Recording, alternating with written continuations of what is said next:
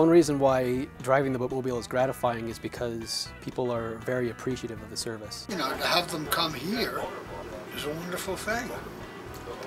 You know, knowledge on wheels. You know?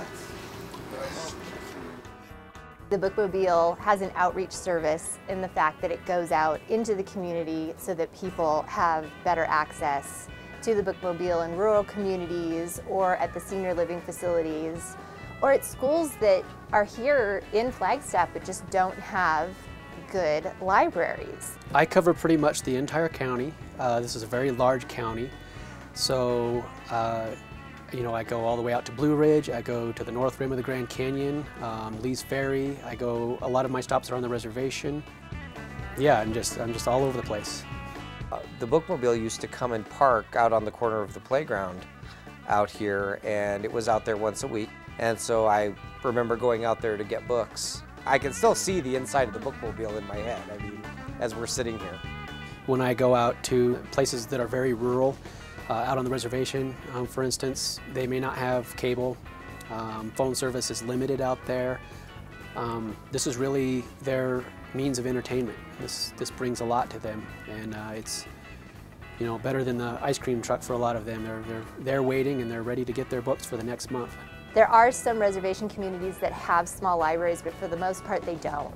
And so the fact that our bookmobile travels hundreds of miles to reach those places is just an enormous benefit to those communities.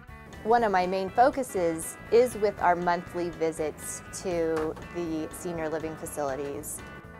Well, I love the bookmobile, and I think it provides so many resources for our residents here.